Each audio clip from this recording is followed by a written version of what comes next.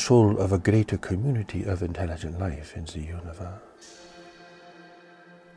Humanity has reached a great threshold in its evolution.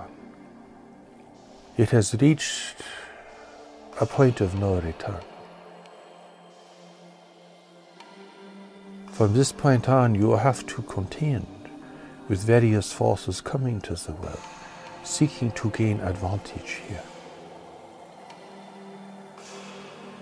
Many people believe the universe is a great empty place, and if life does exist, it is rare. But alas, the situation is very difficult. You are emerging into a very competitive environment. Like everyone in the greater community, you must face the boundaries that life and nature create.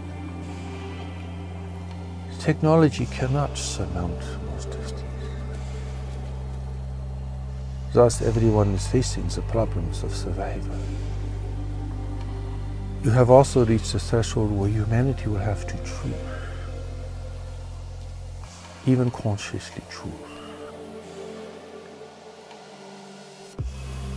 Whether it will fight and struggle over these remaining resources in the world, or whether it will unite preserves them, to secure them,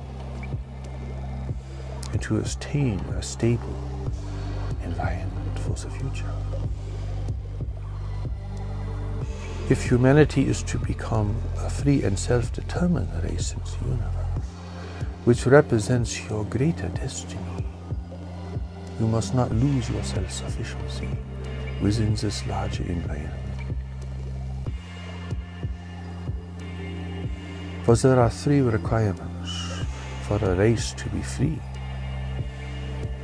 in the universe. You must be united. You must be self-sufficient. And you must be extremely discreet. The Creator of all life has brought you knowledge and wisdom from this greater community.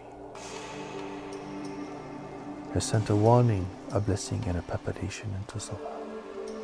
It is here to prepare humanity for the greatest event in human history and the greatest opportunity for human unity and cooperation.